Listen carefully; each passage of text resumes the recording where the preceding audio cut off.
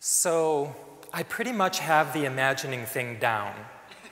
I've been practicing it for many, many years, and I've come to really trust my ability to have an idea come sooner or later. Sometimes it's later, but I've just kind of noticed how predictable and how trustworthy I found that that's, that ability is for me to be able to see something that maybe hasn't existed before. Now, right alongside that is also the bit of imagination that allows me to see how ideas might go, uh, go astray. And this is a challenge, you know, to put upside the, the creativity of imagining with that part that says, oh, no, wait, that part's not going to work out very well, or oh, danger, danger, danger, or oh, who's going to think what they're about that, that idea, about that idea, oh. So, right alongside that. And here's what happens we'll be in worship planning team, someone will bring up an idea. And I try to be, I, am really pretty positive about this. Mark, I'm a little bit too hot. Can you turn me down a little bit? Thanks. Um, so we'll be in worship planning, and someone will float an idea, and I will be doing both of those things, imagining the possibilities in the idea and also just seeing how it might play out. And I'm sure for a moment, because they've told me, I'll have this kind of blank expression on my face, which they find hard to read. So you know how it is when someone puts out an idea, you kind of hope they'll, they'll go, and you know, I'm just having my own inner moment with my relaxed face, which they think is probably judgment of some sort, um, and hopefully it's not. But there are two parts to this imagination process, aren't there? There's the ability to imagine things we've not seen before and how powerful and exciting and fun that is, and then to imagine the next steps. Both of those things are important. But today, I just want us to hang out in that space where we get to imagine that park however it might be. And maybe that's heaven on earth. Now, we led, led, uh, read a little bit from Revelation, and you know this book of Revelation, the last book in the Bible, crazy book. Just off the charts, crazy book. No doubt about it. You don't have to read very far to get crazy stuff. In the first service, when we did this imagination thing, we imagined a dinosaur. Or not a dinosaur, what did we? A dragon. A dragon. We imagined a dragon.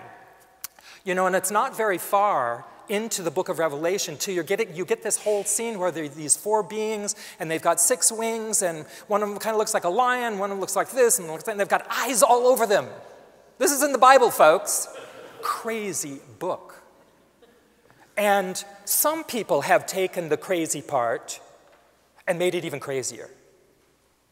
And yet, what I see is room to imagine. In this, in this part that we read this morning, talks about a new heaven and a new earth. God is creating a new heaven and a new earth. If that doesn't create the possibility of new things happening, new and exciting things happening, what doesn't? And closer to the end, it says again, I am making all things new. So, this is part of God's plan to be making things new. That it isn't always out as it, as it has been, it's also how it might be.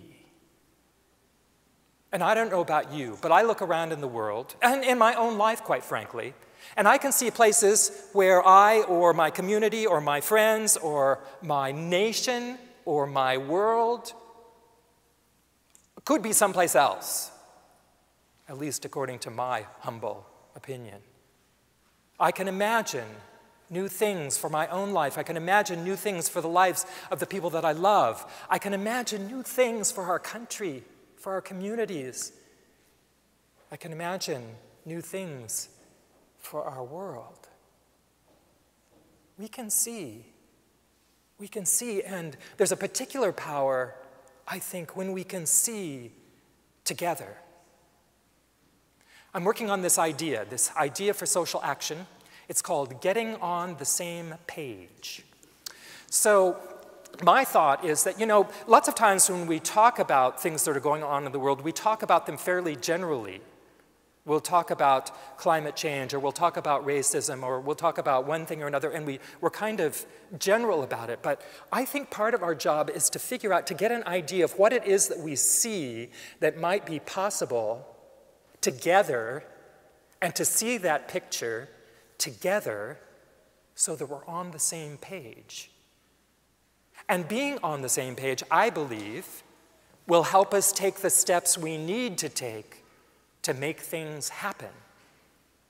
And I believe in the mystical power of getting on the same page. I just think that once we get lined up, whether it's lining ourselves up with God's intention for us personally or as a community or in wider circles, that just that act alone makes things happen. But it also just gives us the clarity to move forward. If we all kind of know, okay, here's where we're going, then we can take the steps we need in order to move forward. I look around in the world and I see places where I just feel like there needs to be such important dreaming happening. And it's only, only the sorts of things that we can, can accomplish or, or, or change if we dream together. And I'm going to talk just briefly about three things. And these are higher order ones. I want you to know that I think that this process of, of dreaming can be quite personal, or it can be quite close in for the people that we care about and love the most, the ones who are right here in our circle, or that those circles might get wider. But these are some things that I think, unless we dream together and get on the same page, they will continue to be intractable. The first one is climate change.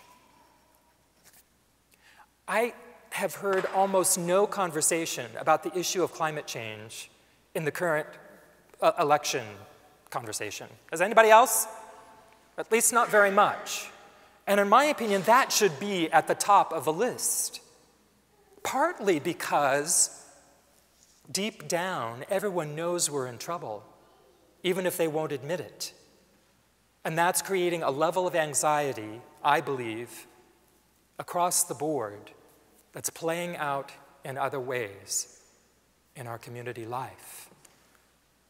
We need to be able to see a new future. We need to be able to see how we can change the way that we're living, in some ways, some, in some fairly radical ways in order to address the challenge and the threat of the environment uh, moving to a place that is where it's impossible for us to survive.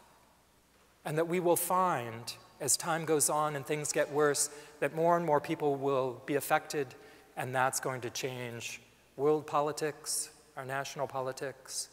So, unless we dream together in this time where we're no longer dependent on carbon, unless we dream together, we will not be able to get to where we need to go. We need to lift up our individual voices and our collective voices. And that, of course, is at least partially related to the second one, which is our political system. And at the moment, things just seem to be at loggerheads. We seem to be divided in a way that makes it impossible for us to have conversation or debate or compromise, which is becoming a dirty word. And yet, it is only when we dream together, it's only when we really gather the best of the wisdom from all sides to find the solutions that we need. Sometimes I feel like these issues that I'm looking at bring me right to the edge of my own sense of personal hope. It's like I can hardly be hopeful. It's, just, it's hard, I have to admit, it's hard for me to be hopeful. And yet I know it's that, at that point that I need to rely on God's hope and not just, not just my own. And that I need the wisdom of the community and the support of the community and being on the same page in order to move forward. That seems, seems like a really big challenge at the moment in our current political situa- uh, situation. In some ways, I feel like we might luck- be lucky just to prevail. But that uh, just a short term strategy. It's not a long term strategy for creating God's heaven on earth. And the third one that I would name is racism. The conversation, I, I feel like we're at a place, a, a really lively and a, a place full of possibility right now in terms of the sorts of things that are happening in our culture, the things that are being, being brought up and forward. And yet, each of those individual actions and collective actions that are happening have the chance of being pushed off course for the wrong reasons that we lose track of the basic questions about justice and equality and, and creating space and opportunity for all people. We need this larger sense of being together, of, of knowing that we have to address this as a group body and not just as individuals. We need to dream together about how we can move forward. I was talking to someone between the services, and she shared this excellent insight that the book of Revelation was actually addressing the political and social situation of the time. This wild and crazy language was a way of imagining a way out of the, of the violence and the oppression that was happening to the people at that time in that place. Not really all that much different than some of the circumstances that we're in today.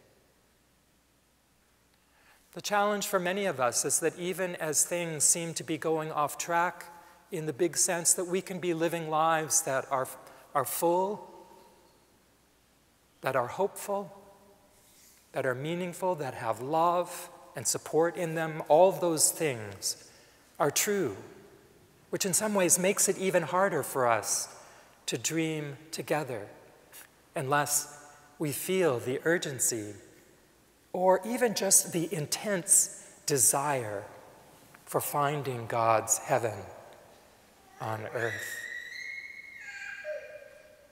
The book of Revelation is about dreaming. It's about things that we can see, sometimes out of the ordinary, sometimes amazing and incredible. But isn't that what we need at this point? We need some dreams that are wild and incredible and that will push us forward. You know, there is the thing of dreaming, and then what do you do next? But for a moment, if we can just see the world the way we would like it to be for ourselves, for the people we love, for our communities, for our nation, and for the world. Amen.